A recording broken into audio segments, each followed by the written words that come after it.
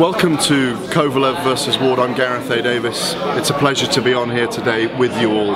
Um, looking at the fight, here's my picks. Obviously, we know 84% knockout power. We have to give the power to Kovalev. I think that's right to do so. Having said that, when Ward manages to get people in the right position, he has power as well. Speed, I'm giving it to Andre Ward. I think Kovalev, yes, has speed, but Ward has that fear fiber, that fear twitch going on. He's got that Mayweather thing. Pernell Whitaker had it. Other guys had it who are able to avoid punishment in the ring. Defensive qualities are often about speed. So I'm giving that to Andre Ward.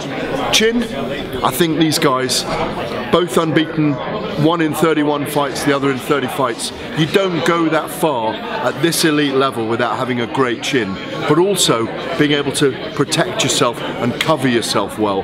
So that's an even one for me, but who knows? If anyone's going to be exposed in this fight, probably you'd say it was Andre Ward's chin. But again, as I say, defensively he's so brilliant, so poised. I don't really see a knockout, but Kovalev has the power to do it. Experience, I think you've got to give it to Andre Ward. If you look at the list of Kovalev's opponents, Nathan Cleverly, who he won the belt off, was still an inexperienced world champion who hadn't really had tests at the elite level. Andre Ward went through the Super Sixes, Froch, um, all these guys, I can't remember all their names now, Abraham, um, Kessler, Dirrell, all these guys. It was a really tough tournament, and he emerged, of course, as the 168 pound king at the end of it against a very tough guy Carl Froch. Look what Froch achieved by the end of his career. Ring IQ, at this moment in time, I'm giving it to Andre Ward. We know he's got the smarts. We know he comes from the old black street school style of fighting, espoused by Virgil Hunter, passed down through generations from some of the great black trainers, of course, in, in this part of America. Um, that, having said that, Kovalev is patient, that Eastern European technique, um, so you can't write that off. Um, ring control this is uh, this is very interesting. Um, I think Ward doesn't mind fighting going backwards and he likes to clinch coming forwards. Kovalev is very good at stalking his opponents.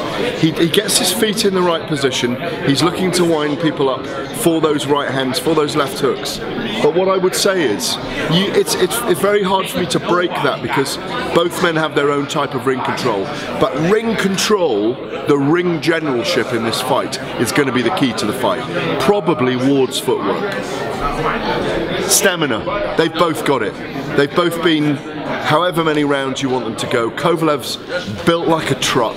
He's, he's got an amazing engine. He'll go all night. We know he will. He, he's he's so dedicated to his craft. And uh, Andre Ward, as we know, has a great ability over 12 rounds.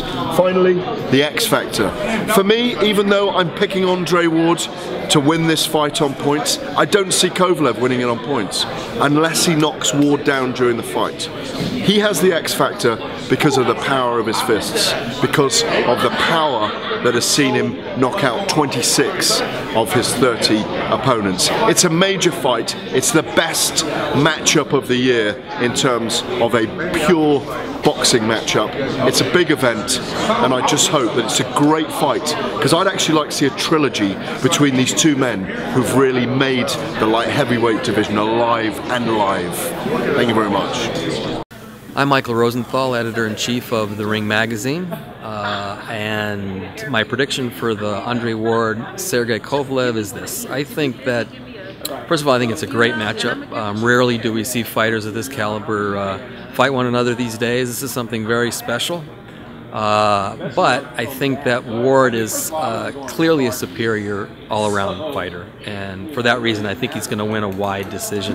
Um, I think Kovalev's got power. He might have a size advantage in this fight, but I don't think he's going to be able to figure Ward out. Ward's just too clever, uh, at this point, too experienced. Um, and I just think he's gonna he's just gonna frustrate Kovalev with his boxing skills. Uh, again, Kovalev is good. I just think that, that Ward is um, one of those uh, boxing savants, boxing geniuses who just just knows how to neutralize uh, his opponents and win fights. Um, I could be wrong, but I just I'm I'm, I'm pretty sure that's what we're going to see. Um, again, I'm excited about this fight. This is something very special. I just don't think it'll be as competitive as people think. Ward by a wide decision. Hi, this is Lance Pugmire with the Los Angeles Times. I believe Andre Ward will dominate this fight. I think he is uh, still at the peak of his game as, as far as boxing. I think he's going to win about 10, 10 of the 12 rounds and cruise to a victory by unanimous decision.